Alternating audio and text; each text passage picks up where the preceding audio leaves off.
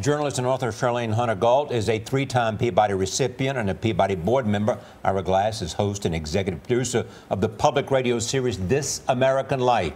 He is the winner of five Peabodys. Welcome to both. Wow. Eight among you. Wow. we, we mentioned it's the Oscars of our business and our profession, but it's more than that. What does it signify? I mean, the, the first time uh, This American Life got an award was 1996. We didn't have a distributor yet. We were trying to talk radio stations into picking up our show one by one.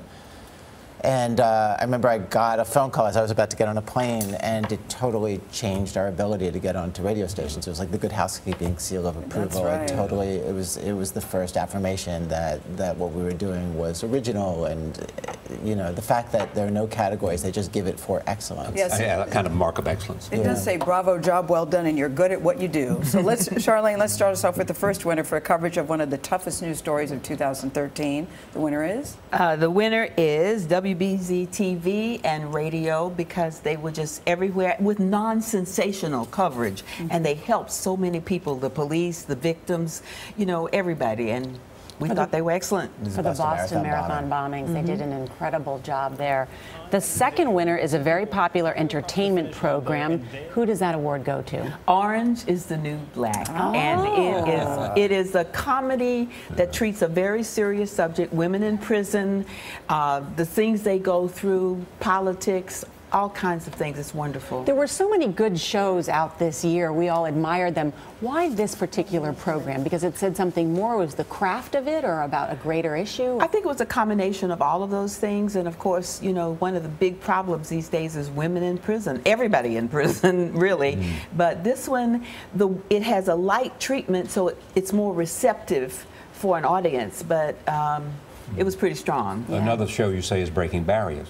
I mean, Breaking Bad. Yes. Breaking Barriers. Breaking Barriers. Breaking Breaking Barriers. Yeah, the third, the third winner. Mm-hmm. There's a show you say is breaking all the barriers. The third winner is oh, that's not the one I have, but This is the third winner? The third winner is another show you say is Breaking Breaking Bar- Barriers. Scandal. Oh, Scandal. Oh, break. Oh, I thought you were Breaking saying Barriers. Breaking No, Barriers. I said Breaking oh. Bad. I changed it to I haven't had to Barriers. sleep. I've been judging no. Peabody Awards. No, you know, Scandal, the first time in 40 years you have an African American woman, Kerry Washington, in a very formidable role based on a real life person, a fixer in, in Washington, D.C., and yet she transcends race. And the New Yorker said that it was soap opera that had become opera, and it raises a lot of what ifs, and I think we have to give a hands up to Shonda Rhimes who Yes. created it. Yes, the fourth winner is for excellence in radio. Who's that winner? Excellence in radio. Now let's find. Oh, congratulations, Harper High School. You did it. The most amazing drilling down. I know you didn't know. We didn't tell you, and I, I had a hard time not telling you, but.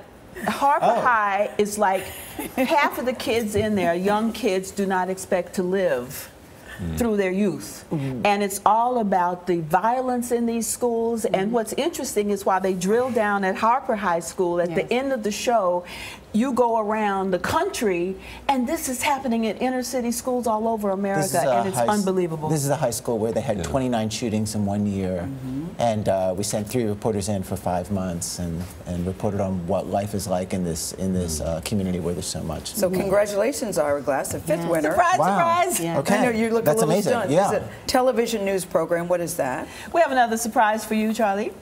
Assad. This amazing get of uh, one of the arch villains of the world, whom you treated with respect, and yet you didn't back off. You pressed him, and we all got to see what this man is made of and how he thinks. And I just have to read this part. It was, it was surely the biggest journalist, journalistic get of 2013. CBS This Morning, Charlie Rose sat down with Syrian President Assad. Under Rose's polite but persistent questioning, Yes. Assad gave us a look into the mind of one of the world's most vicious warmongers, a glimpse of banality and evil. So bravo to you. Surprise! Yay! Bravo to you. Yeah, and this is- Bravo. Thank you. Thank you. I, never submit applications for awards. I don't know how these things happen, but thank you very much. Well, we're happy it happened. Thank you. That, yeah, we're very happy. Jeff That was- Fager and Paul so Needham, who went with me, who mm-hmm. made really contributed to that. Mm-hmm. Congratulations. Well done. Thank you. Yes. And we mm. should say that Charlayne and Ira will be, you will be hosting the Peabody Awards, Ira, Yes. on May 19th. You- You've got to figure out what you're going to wear. I know, I know. gotta I know. get to and that. then there's going to be a TV special on the Pivot Network. That's right. For a complete list of this year's Peabody winners, visit cbsthismorning.com.